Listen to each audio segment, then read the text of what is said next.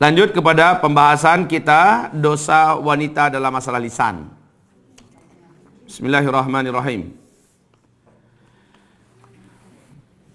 Di zaman Nabi Muhammad SAW orang sangat menjaga lidah.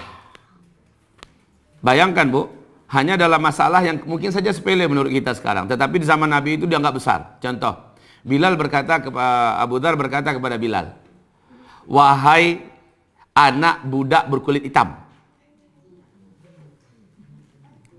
Diam kamu. Kata Abu Dhar. Ini kan ada Bilal ngomong, Abu Dhar ngomong, lalu karena dongkol, apa kata Abu Dhar? Kalau bahasa kitanya kan, eh kalian, entoang, itu kalau bahasa kitanya, ya. Hai kamu anak berkulit hitam, ya. Hai kamu mantan budak anak berkulit hitam, diam kamu, jangan bicara lagi. Mendengarkan itu Abu Dhar, Bilal pedih hatinya, perih perasaannya. Dia keluar dari majelis dalam keadaan sedih, berpapasan dengan Rasulullah. Bilal kok murung amat wajahmu?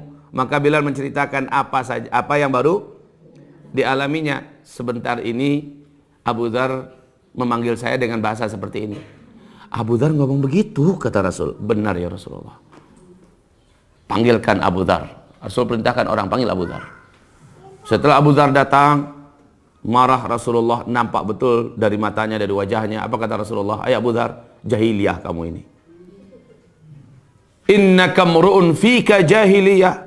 Sesungguhnya engkau seorang lelaki yang masih merawat dan memiliki perangai jahiliyah. Kamu barusan ngomong begini sama Bilal kan?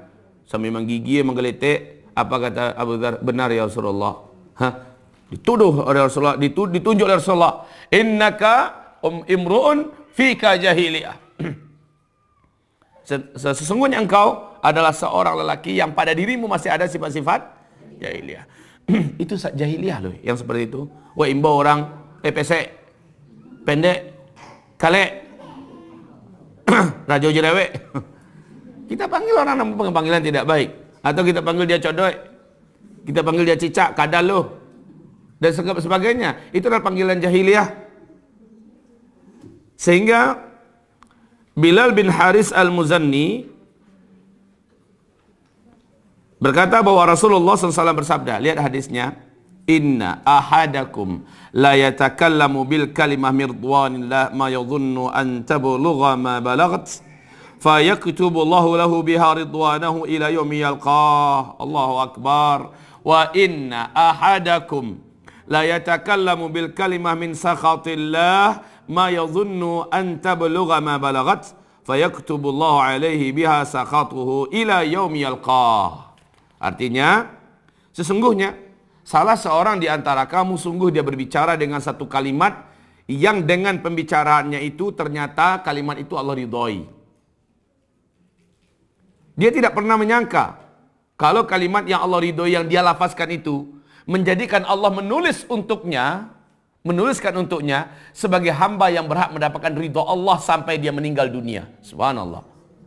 Ada kata-kata yang kalau dilafazkan, kata-kata itu Allah senangi, Allah ridhoi. Dia tidak menyangka seperti dia berkata lembut, berkata santun, berkata cantik, berkata memilih bahasa yang paling indah yang didengar telinga oleh orang tuanya. Ya, atau dia datangi suaminya, dia pegang erat tangan suaminya, dia cium tangan suaminya, dia menyampaikan kalimat yang menyebabkan Allah ridho kepadanya. Dengan ridho suaminya. Dia tidak menyangka kalau kalimat itu ternyata nanti akan menjadikan dia orang yang diridhoi oleh Allah sampai dia meninggal dunia. Kebalikannya juga ada. Sesungguhnya di antara kamu ada yang nggak nyangka kalimat yang dikatakannya memancing murka dan marah Allah Subhanahu wa taala. Lalu dia mengucapkannya.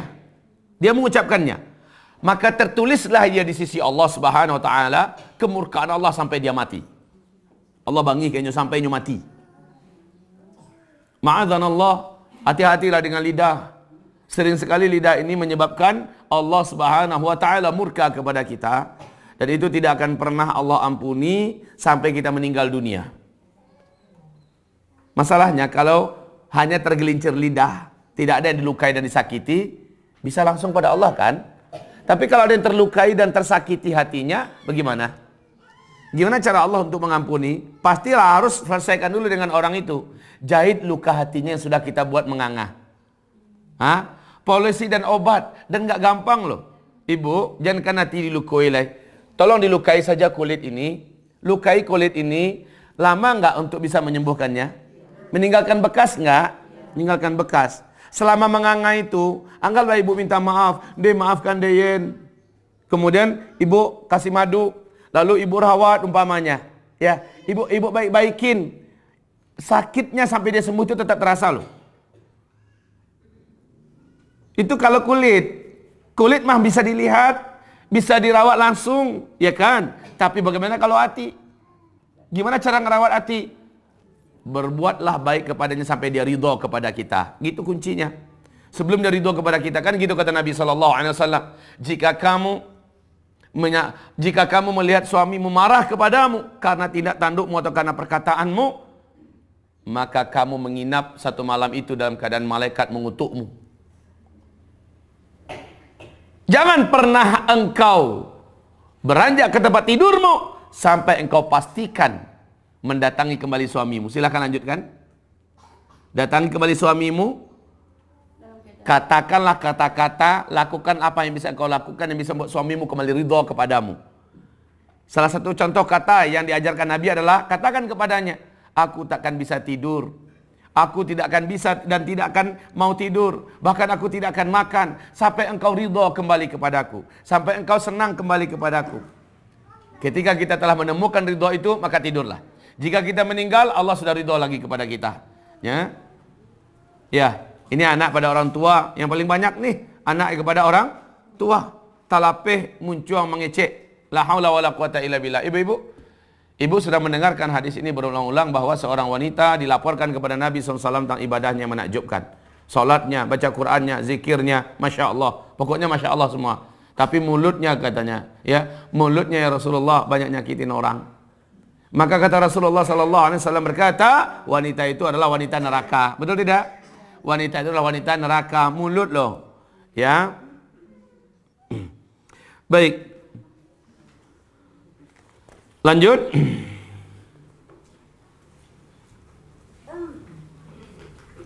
Lihat hadis di bawahnya. Abu Hurairah radhiyallahu anhu ia mendengar Nabi Muhammad sallallahu alaihi wasallam bersabda, "Inna innal 'abda la yatakallamu bil kalimah ma yatabayyanu ma fiha yazillu biha ila an-nar ab'ada ma baina al-masyriq wal maghrib." Sungguh seorang hamba mengucapkan suatu kalimat yang tidak jelas sehingga dengan itu ia terperosok ke neraka yang jaraknya jaraknya lebih jauh daripada jarak antara ufuk timur dan barat. Maksudnya apa ini, Bu? Dia mengucapkan kalimat yang tidak jelas. Maksudnya dia nggak jelas ini kalimat Allah senangnya atau tidak. Tapi dia ngomong aja, asal ngomong aja. Harusnya dicek dulu dong. Kalau bahasa orang Padangnya mengangu sabalun mengecek. Maksudnya adalah pikirkan dulu ini benar nggak secara agama ini dibolehkan nggak? Hah? Sering orang bicara, setelah itu dia baru nyesal. Bagaimana ketika dia bicara itu, dia kemudian meninggal dunia? Bagaimana? Sementara dia sudah melakukan dosa besar. Nah, ibu-ibu yang kami muliakan, "Man yu'min billah wal yawmil akhir falyaqul khairan aw liyasmut." Siapa yang beriman pada Allah dan pada hari akhirat, hendaklah dia mengatakan kata-kata yang baik atau hendaklah dia diam. Wa man kana yu'min billah wal yawmil akhir fala yu'dhi jarah. Begitu juga orang yang mau diakui beriman pada Allah dan juga beriman pada hari akhirat, hendaklah muliakan tetangganya. Ya. Jangan sakiti tetangganya. Wa kana yu'min billah wal yawmil akhir falyukrim dhaifah. Ada tiga ini. Yang ketiga, muliakan tamu. Kok tiba tamu saatnya kita sedang diuji oleh Allah. Iman kita ada enggak? Bagaimana cara kita memuliakan tamu? Adakah kita menservisnya dengan baik? Adakah kita memberikan layanan kepadanya dengan baik? Ataukah kita biarkan dia berlalu tanpa ada merasakan kesan yang berarti dari kita? Kandaknya ketika nyopai dia lewat, buah munculnya adalah Yubana luar biasa penyambutan tamunya kawa. Kan begitu kan? Harusnya ada kalimat yang indah dari lisan tamu itu ketika dia berkunjung ke kita, berlalu melalui kita dan ada kata-kata yang deh bana luar biasa. Kami terkesan bana diperlakukannya kami seperti apa ya luar biasa. Hah? Takah tamu terhormat bana pada orang biasa saja. Nah ini adalah tanda orang yang beriman. Ini adalah tanda orang yang beriman. Beda dengan orang, carilah awak tiba ke rumahnya, amba saya mukanya. Kamu gitu kan? Jangan kan nyo nyo hidangkan apa oleh ayah minum sedap dia nyo aguan no. Ndak usahlah dia nyo kan dia minum, nyo tanya salah, kami minum bu. Ya. Indah, nak nyo tanya nawak dah. Kalau lah model itu buah bibir orang, kalau orang bertamu ke kita menandakan kita di mata Allah tidak beriman. Makanya upayakan tarik simpati orang yang bertamu itu kan nggak selalu kan? Nggak yang bertamu nggak selalu. Ketika dia bertamu, acuk nak tamu tiba mah. Iya mungkin acuk tamu tiba. Tetapi yang yang beliau tiba mungkin sekali setahunnya. Tapi dia banyaknya orang tibo kawa, awak anggap rapi mana orang tibo.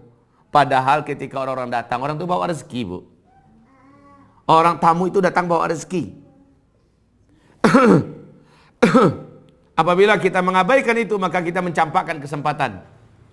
Saat dia datang, saatnya kita menyambung silaturahmi. Bukankah ibu tahu siapa yang ingin rezekinya di lapangan oleh Allah, perbanyaklah menyambung tali silaturahmi. Lah orang datang, Saatnya kita memperbaiki silaturahmi dengannya. Yang bisa jadi banyak rusak selama ini. Yang bisa jadi banyak yang yang tidak baik. Saat itu kita perbaiki. Saling bermaaf-maafan. Sambutlah dia dengan muka ceria. Berilah dia hidangan yang ala kadarnya apa yang ada di dapur kita. Hah? Senang loh bu.